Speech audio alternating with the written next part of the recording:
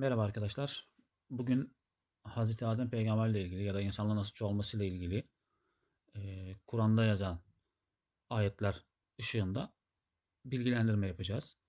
Ve Caner Taslaman'ın söylediği evrim hikayesinin kafadan uydurma olduğunu, yani bu kendi inancını dile getirdiğini, böyle bir şeyin olmadığını, Kur'an'la çeliştiğini hep beraber göreceğiz. E, Adem'in yaratılışı dahil, insanın yaratılışının hiçbir şeyin çelişmemesi. Şimdi Adem'le ilgili meseleyi ben anlatayım. Buradan Şimdi Adem'in yar- yaratılışının, Adem peygamberin yaratılışının e, evrimle çelişmemesi diye bir olay olmaz. Çünkü Adem peygamber insan olarak yaratılıyor. Çamurdan ve karbondan tabii ki pişmiş topraktır karbon. Çamurdan şekil veriliyor, pişiriliyor, heykel kıvamına geliyor. Daha sonra ruh verilerek canlandırılıyor ve insan oluyor. İnsan olarak canlandırılıyor. Dolayısıyla Adem peygamberin evrim geçirmediği yani hayvandan, maymundan, bakteriden gelmediği açıkça Kur'an ayetlerinde belirtiliyor. Eşinin de aynı şekilde yaratıldığı söyleniyor. Dolayısıyla burada evrim iddiasında bulunmak ayete inkar anlamına gelir. Evrimi savunacağım diye böyle komik durumlara düşülmemesi gerekiyor. İnsanın imanından e, şüphe edilir. Devam edelim. çok sorunlar olduğunu görüyorum. Kur'an'da tabii ki Adem'in birçok bizim müfessirde insanlığı temsil ettiğini düşünüyoruz demişler. Öyle bir izahla zaten e, evrim teorisiyle ilgili bir sorun kalmaz. Ama Adem bir bireydi. Kur'an, Kur'an'da, Kur'an'da Havva ifadesi geçmiyor. Havva ifadesi ge- geçmediği Kur'an'da Havva ismi geçmiyor, ifadesi değil. Eşini de ondan yarattım diyor Allah. Yani aynı nefisten yarattım diyor. Adem peygamber, peygamberi neyle yarattıysa, hangi özden, işte çamurdan, maddeden, nefisten, hangisinden yarattıysa eşini de ondan yarattım diyor. Bütün insanları da onla, ondan yarattım diyor Allah. Herkesi aynı özden, aynı nefisten yarattım diyor. Yani Havva isminin geçmemesi önemli değil. Eşi var mı? Var. Demek ki var.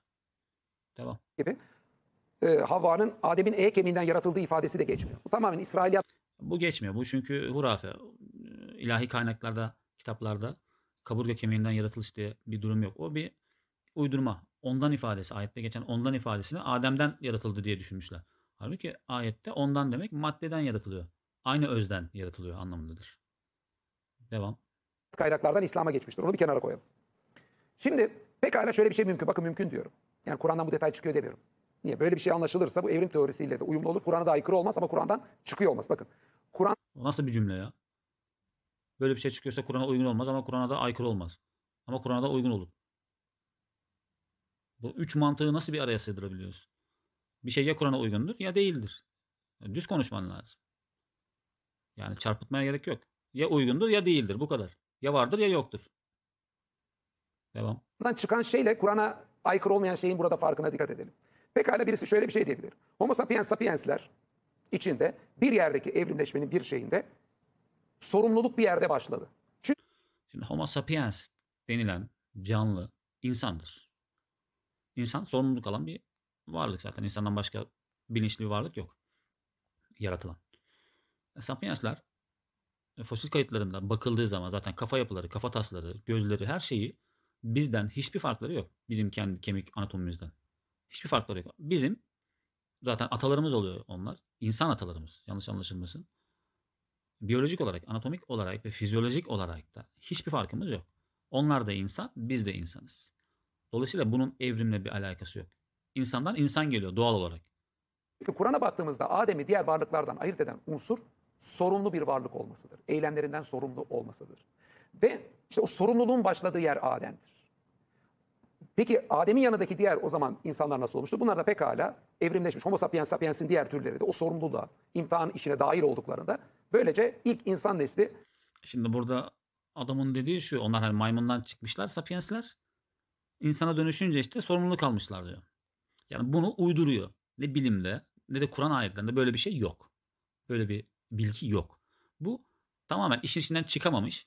Ben de böyle hem evrime uydurayım hem de İslam'a uydurayım diye bir cümle, bir e, fantezi ortaya çıkartmış kendi kendine.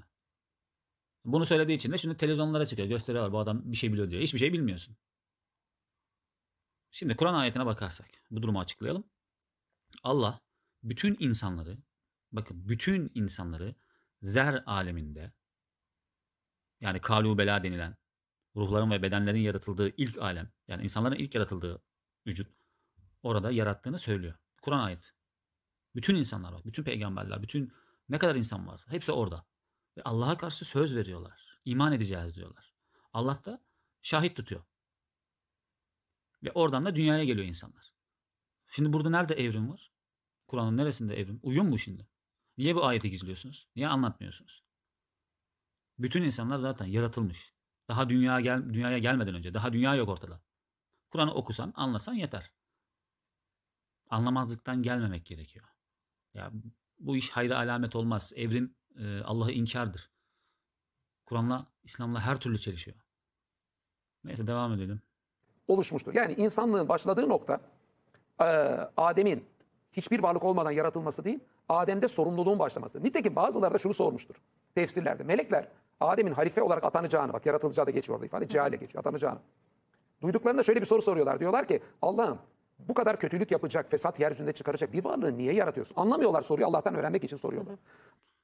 Şimdi burada Adem peygamber yaratılırken tabii meleklerin insanı nereden bildiği ve insanın bu karakterini yani saldırgan karakterini, bu nefsini nereden biliyorlar diye insanlar düşünüyorlar. Te- çeşitli buna e, yönelik tefsirler var.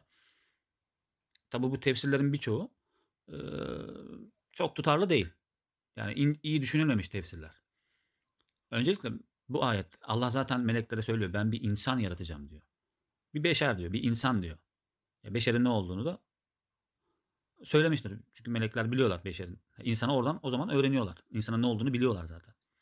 Zaten Allah da söylüyor insan diyor. İnsan yaratacağım diyor. Melekler de diyor ki bozgunculuk çıkaracak, kan dökecek birini mi yaratacaksın diyor Allah'a. Yani meraktan soruyorlar. Bilmek için, öğrenmek için soruyorlar. Hesap sormuyorlar haşa. Peki melekler insanın bu zalim tarafını nereden biliyorlar diye düşünüyorlar. Bu konuda dediğim gibi birçok cevap verildi ama ben bu konuyu neredeyse bir ay düşündüm. iki hafta, bir ay, üç hafta. Ayetleri inceledim. Diğer yapılan yorumları, tefsirleri inceledim. Bu konuda şöyle bir düşünce, ayetlere göre tabii ki söylemek istiyorum. Şimdi insanlardan önce biliyorsunuz cinler yaratılmıştı. Ve cinlerde de nefis vardır. Çünkü onlar da imtihan olan bir e, varlık türü. Şimdi bu nefsin anlamı nedir? İnsana kötülük yaptırabilen, işte azgınlık yaptırabilen, kavga ettirebilen bir e, his, bir kötü bir his. Değil mi? Nefsin tanımı budur. Nefsin ne olduğunu meleklerin bildiğini düşünüyorum. Çünkü cinleri bildikleri için onların da aralarında çekişmeler olduğu için e, nefsin onlara neler yaptırdığını anlamışlardır. Ama kanı nereden biliyorlar? diye soracak olursak. Onu da insanın hani ilk başta söyledik ya toplu halde yaratılışı vardı. Kavlu belada. Bütün insanlar yaratıldı. Oradaki biyolojiden, insanın yapısından anlamış olabilirler. E, nefsi de biliyorlar. Nefsi bildikleri için de insanlar birbirine girecek, birbirine bozgunluk çıkartacaklar bunlar diye. Kan dökecekler. Çünkü nefisleri var. Diye düşünmüş olabilirler diye. Anlamış olabilirler diye düşünüyorum. Ki gayet de mantıklı geldi bana. Tabii ki en doğrusunu Allah bilir. Neyse devam edelim. Allah da diyor ki siz biliyorsunuz, siz bilmezsiniz, eee, ben bilirim. Benzer ifadeler. Şimdi burada birçok kimse şunu soruyor. Adem'in kan dökücü özelliklerini nereden görüyorlar da bunlar soruyor? Adem ortada yoksa. Bunun da açıklamalarına biri eğer ki Adem orada yaptıkları fesat özellikleri gözüküyorsa bakın insan olarak sorumluluğu başlamadan önce o özellikleri gözüken bir türse meleklerin bunu niye sorduğu da anlaşılıyor. E Şimdi sen Adem'den önce işte Sapiensler maymundan döndü diyor ya maymun işte insan arası o zamanlarda kan döktüklerini söylüyor.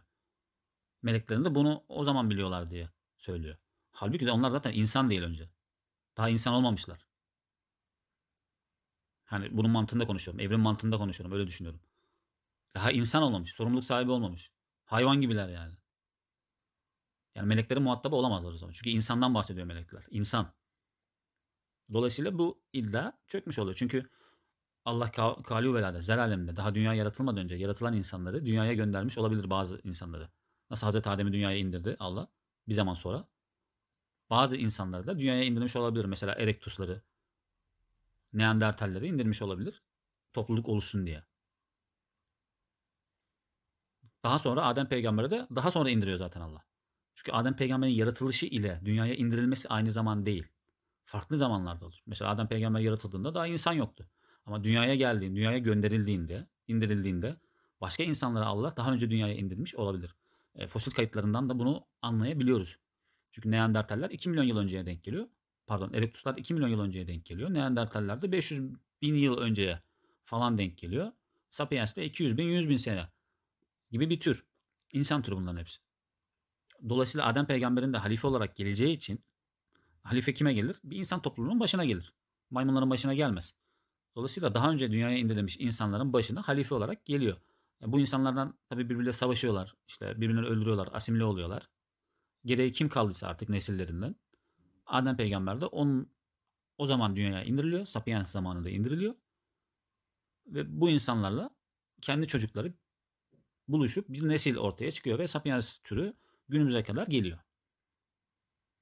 Yani biyoloji e, bilim açısından mantıken ve Kur'an ayetleri açısından düşündüğümüz zaman bu şekilde olması çok daha mantıklı ve uyumlu olmuş oluyor. Kur'an'dan evrim teorisi çıkıyor. Evrim teorisinin detayları Kur'an'da vardır gibi bir fikri savunmuyorum. Ama Kur'an'la evrim Az önce diyorsun ya evrim olmuş olur ama Kur'an'da olmayabilir. Öyle olmaz. Ya vardır ya yoktur diyeceksin. Adem peygamberin evrimle oluşup oluşmaması İslam'a aykırı değil diyorsun. Şimdi de lafı başka türlü çeviriyorsun. Var demiyorum diyorsun. Yani ortalı konuşma, net konuş.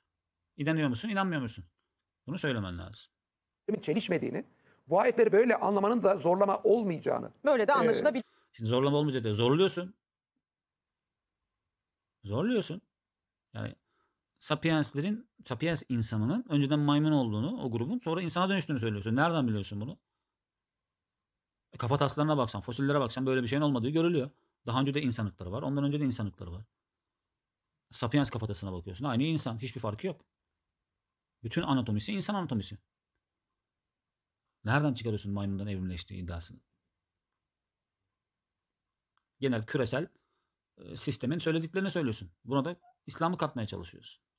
E, Başta da dedin Adem peygamberin e, yaratılış e, şekli evrimle çelişmez diyor. Ya bir kere Adem peygamber insan olarak yaratılıyor. İnsan. Evrimle yaratılmıyor. Ve dünyada da yaratılmıyor. Yani bunu anlama, anlamayacak bir şey yok. Koskoca adamsın bunu anlarsın sen yani. Niye çeviriyorsun? Ha, burada o zaman ne oluyor? İlk Adem Bu arada size çıkan- ekstra verdiğim bir dakika başladı. Evet yani sonuçta buradaki Adem en zor mesele birçok kimseye Adem ona sorumluluğun başladığı ilk noktayı ifade eder. Bunu bu şekilde anlattığınızda Adem'in çocukları ensesle mi türedi şeklinde deminki soru da cevaplanmış olur. Niye? Adem'in yanındaki diğer bireyler de evrimle oluşup Adem'in yanına geldikleri için Bak gördün mü yine evrime girdi olayı. Görüyorsunuz değil mi? Yani illa o evrimi İslam'ın içine sokacak bu. Sana ayet söyledik. Öyle bir şey olmayacağını dedik. Yani bütün insanların zer aleminde yaratıldığını söyledik. Ki bunun ayeti var. Gidip bakabilirsin. Elinde Kur'an var. Aç bak. İnatla hala evrimleşti. insan oldu. Adem çocuklarıyla evlendi diyor. Yani hayvandan insan olmuş. Adem peygamber de çocuklarını onlarla evlendirmiş. Nasıl bir masal bu ya? Nereden öğrendin sen bunu? Nereden biliyorsun? Ben öyle inanıyorum diyor. Öyle uyduruyorum diyor. Hiçbir kanıt yok. Kafasına göre fantezi kuruyor. Ya durum şu. Allah zer alemde yarattığı bir grup insanı dünyaya indirmiş. Adem peygamberden önce indirmiş. Bunlar kendi aralarında savaşıyorlar, kan döküyorlar. İşte nesiller azalıyor. Daha sonra Adem peygamber dünyaya indiriliyor eşiyle beraber. İşte çocukları oluyor, nesilleri oluyor ve bu diğer insan önceden gönderilen insan nesilleriyle karşılaşıp e, çoğalıyorlar. Durum bu. Mantıklı olan bu. Kur'an'a uyan bu. Evrim mevrim değil. Uydurma. Burada Adem'le Havva'dan ensesle çocukların çoğal neden çoğalmadığını da o zaman bundan anlıyoruz ki Burada ensesle zaten hani benim anlattığım türde ensesle bir şeyin olmadığı görülüyor zaten. Başka insanlarla e, çoğalıyorlar. Senin anlattığında hayvansı insanlarla gidiyor evleniyor diyorsun. İşte insan olmuş da ol- olacakmış işte. Ara fosil böyle. Ara, ara canlı. Maymunla insan arası bir varlık. Adem peygamber çocukları evlendiriyor. Diyorsun. Burada sıfır mantık kuruyorsun yani. Evrim teorisine inancı eğer ki Allah'la çelişkili zannederseniz Ebu Bekir Bey'in yaptığı hataya düşerseniz işte bu hala diyor ki çelişkili zannetmeyin diyor. Evrimle diyor. Çelişkili zannetmeyin diyor. Ya bütün insanlar Kur'an ayetiyle baktığımız zaman zer alemde yaratılıyor. Adem peygamber insan olarak yaratılıyor. Allah sizi yoktan yarattım diyor. İnsan olarak yarattım diyor. Evrimle ilgili tek bir ayet yok. Bir de hala diyor ki evrimle çelişkili zannetmeyin diyor. Allah akıl fikir versin.